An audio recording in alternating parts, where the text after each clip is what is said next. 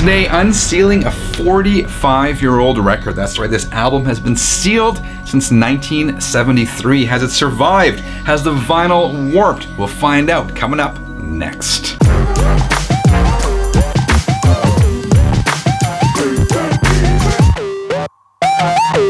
Hi guys, it's Friday. And that means it's time to kick back, relax, and talk music. I consider this a bit of a bonus episode because um, I wasn't even going to plan on opening this record um, on on camera, but I decided what the heck.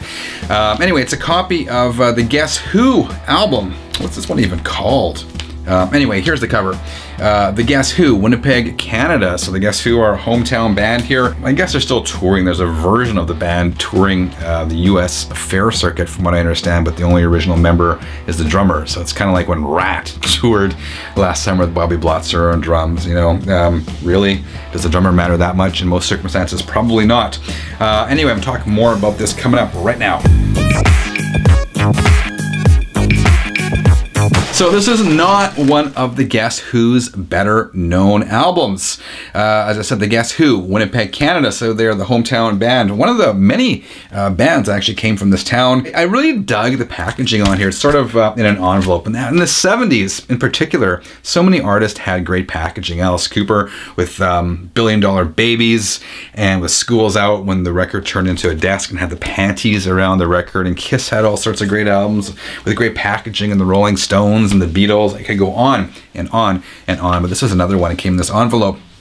It says, win more cash than you could possibly use in a lifetime. Win big bucks fast. Artificial Paradise. Uh, in terms of big tracks, so the Guess Who were known for songs like American Woman, for songs like These Eyes, for songs like uh, Undun.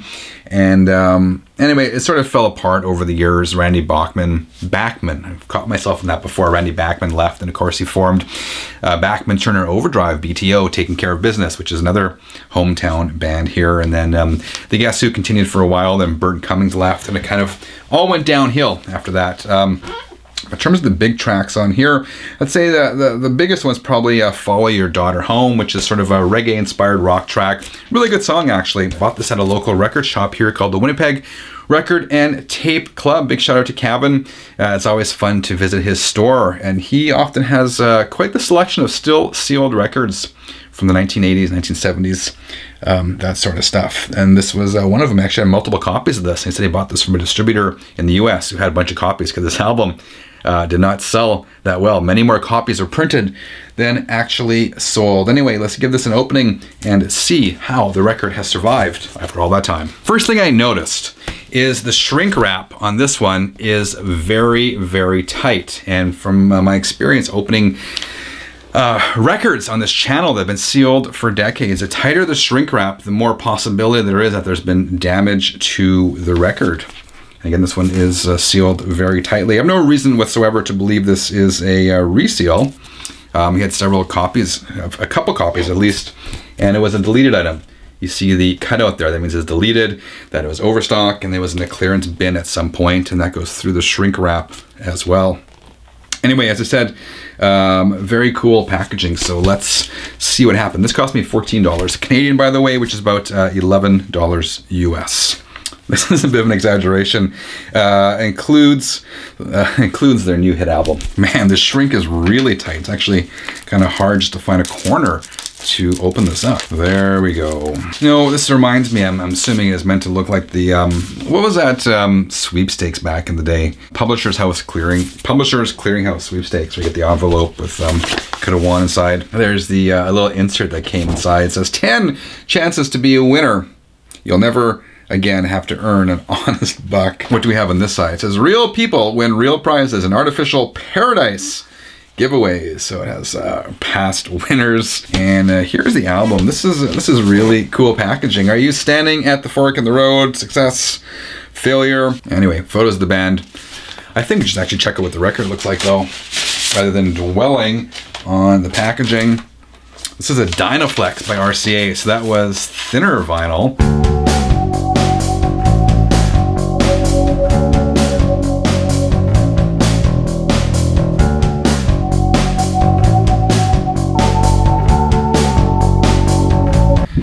See how thin it is with the old Dynaflex. Uh, look like looks like it may have a little bit of a warp. Let me unplug the camera and take this over to the turntable right behind me. So you'll notice there is a little bit of a warp um, on this record. It's still definitely playable from the fact um, that this was a Dynaflex record, at least partly contributed to it not warping, believe it or not, just because Dynaflex was such thin thin vinyl that um, it really, as the name implies, had some flex to it, Dynaflex. So maybe that flexibility uh, helped uh, in a way saved this record um, from what could have been perhaps a worse fate, or maybe not. Maybe I don't know what I'm talking about. But uh, there you go. The record did survive somewhat intact, and it's still, uh, it, I would suggest, I would say this record still is playable, only a minor warp in it. Okay, 33ers, I am going to rock out to some classic 1970s Guess Who, since fortunately that record still is playable.